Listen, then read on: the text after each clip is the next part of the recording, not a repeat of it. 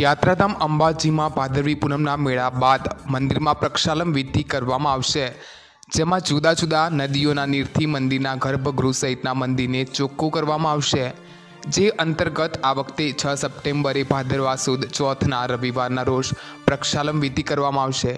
યાત્રાધામ અંબાજી મંદિરમાં પ્રાચીન પરંપરા મુજબ પ્રક્ષાલન વિધિ યોજવામાં આવે છે. જ્યાં મંદિરમાં અનાદિકાળથી સ્થાપિત કરાયેલું માતાજીનું યંત્ર, જેની પૂજા પણ મંદિરના પૂજારીઓ દ્વારા આંખે પાટા બાંધીને જ કરવામાં આવે છે. તેવું યંત્ર પણ કોઈની નજર ન પડે. તે રીતે બહાર લાવવા સાથે જ માતાજીની વિવિધ સવારીઓ અને પૂજન સામગ્રી સહિત મંદિર ગર્ભગૃહ સભા મંડપ સહિત નૃત્ય મંડપ અને પરિસરનું પ્રક્ષાલન કરવામાં આવે છે. માતાજીના વિવિધ આભૂષણો સહિત પૂજન સામગ્રીનું પ્રક્ષાલન પરંપરા મુજબ કરવામાં આવે છે.